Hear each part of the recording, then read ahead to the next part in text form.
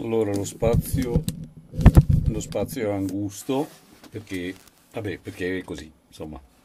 Mi piacerebbe avere un campo di calcio invece ho uno sgabuzzino. Comunque ciao volevo dire gli accordi volevo parlare un attimo degli accordi per ukulele. Allora quattro corde A E C G. In realtà dovrebbe essere questo questo io l'ho alzato di un'ottava, cioè vuol dire che se questo è un Sol basso, al dodicesimo tasto diventa un Sol acuto. Generalmente l'ukulele è accordato, io lo alzo qui, ma il suono di un ukulele a corde vuote dovrebbe essere questo. Gli accordi. Generalmente l'ukulele si suona sempre con gli accordi, cioè si può suonare anche con le note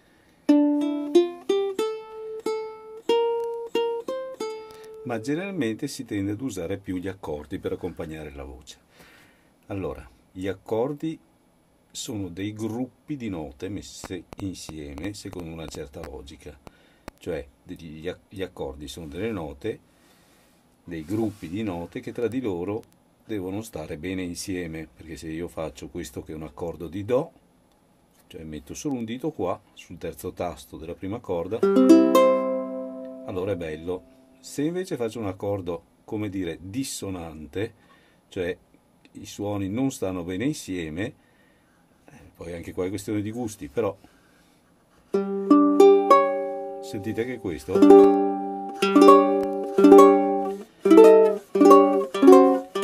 è roba da film horror. Ok, quindi torniamo ad un accordo, facciamoci riposare un po' le orecchie.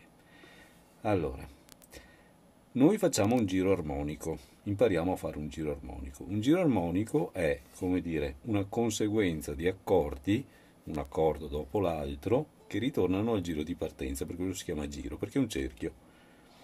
Allora, io per esempio adesso farò il, eh, l'accordo di Do maggiore che abbiamo già visto, che è questo, un dito, io metto il mignolo qua, perché poi se uso sempre l'indice dopo come dire, eh, vado a giocare a pallone con un solo uomo, invece qua ne ho quattro disponibili, quindi uno qua lo metto in difesa, uno in, due in centrocampo e uno in attacco. Allora, qua metterò il mio attaccante, il mignolo. Ok, questo è il primo accordo, Do maggiore. Lo strumento deve essere ben accordato perché sennò viene fuori una qualcosa di meno comprensibile. Accordo di La minore allora io vado sull'ultima corda che questa è l'ultima la quarta detta anche metto un dito il medio sul secondo tasto. Poi tutto il resto sarà senza dita.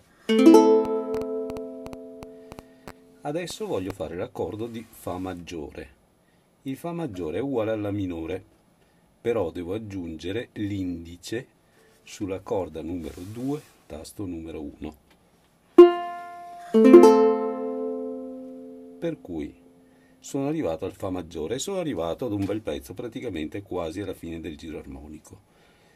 Adesso l'ultimo accordo è anche il più difficile, per cui vi consiglio di provarlo tante volte, che è il Sol. Allora, il Sol si compone mettendo il dito medio sul secondo tasto della prima corda. L'indice andrà due piani sopra sulla terza corda sempre il secondo tasto e fino a qua ci siamo. L'anulare cioè il terzo dito detto chitarristicamente andrà sulla seconda corda terzo tasto.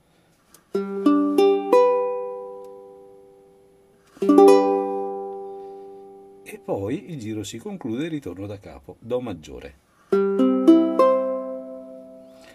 conseguenza sarà un insieme di accordi che messi in rapida successione produrranno un effetto, diciamo, musicalmente gradevole.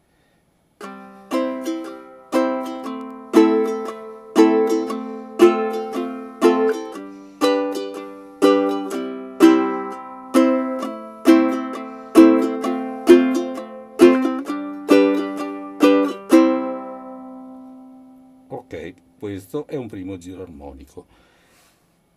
Volevo aggiungere che questo giro armonico probabilmente vi risulterà familiare.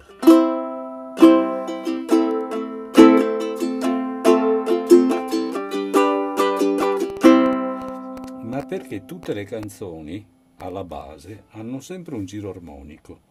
Quindi questo è un giro armonico che può contenere infinite canzoni diverse Intanto provate ad imparare questo. In rapida successione, ultima cosa che volevo dire, è arrivare a tempo sugli accordi, meglio arrivare con il dito magari un po' sbilenco, magari l'accordo non preciso, però il ritmo è fondamentale. Sentite, adesso sbaglio pur facendo sembrare che il tempo è per preciso,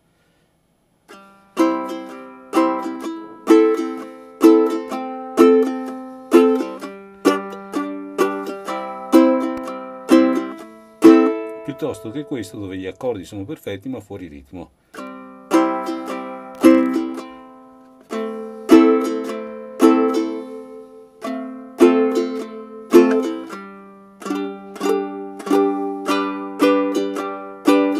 Sentite che è molto meno efficace piuttosto un giro sbagliato, cioè con accordi non precisi, però ritmicamente a tempo.